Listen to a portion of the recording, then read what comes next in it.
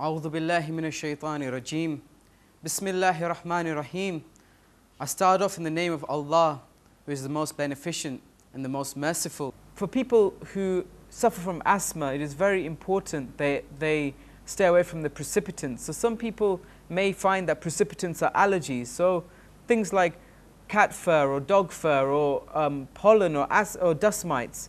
People find that many allergens can cause asthma.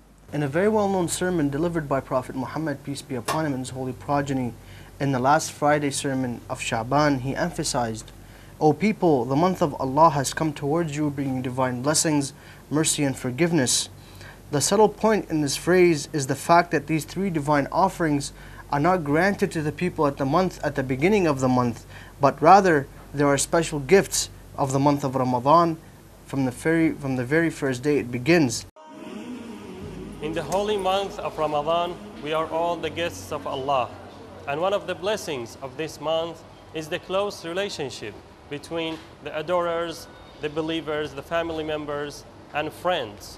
My heart is full of dishonor and shame.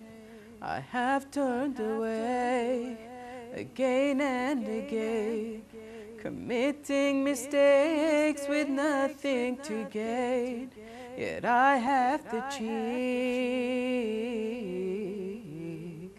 to sit and complain.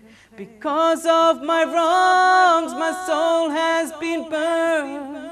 The chances you gave, but I never learned when I am alone nowhere to turn. I find solitude.